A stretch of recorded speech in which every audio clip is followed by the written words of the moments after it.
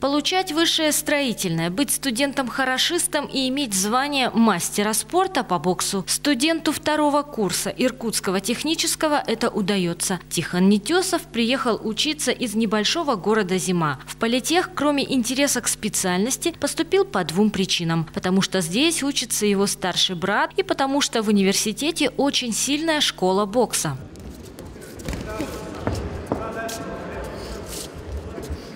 Живет мастер в обычном студенческом общежитии. Добиться успеха к 19 годам удалось только трудом и бесконечной силой воли. Тренировки проходят дважды в день, до учебы и после. Иногда бывает, я говорю, тяжело, неохота идти не на учебу, потом с учебы ты, ты возвращаешься в 5 вечера, и тебе уже надо идти в зал, и это не, не, не, неохота, но как-то надо себя преодолевать и как, стремиться к, к чему-то надо.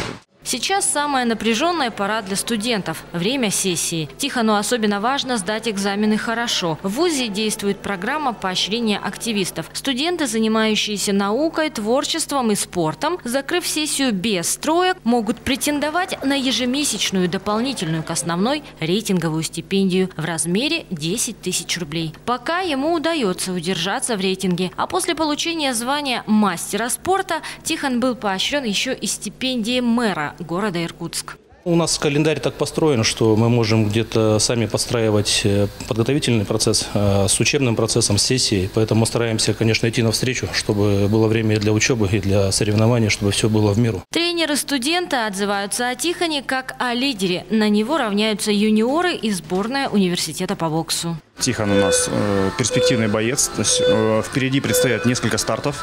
Э, э, ближайшие это через неделю ну, практически, то есть ну, через 10 дней э, всероссийские соревнования в Краснодаре.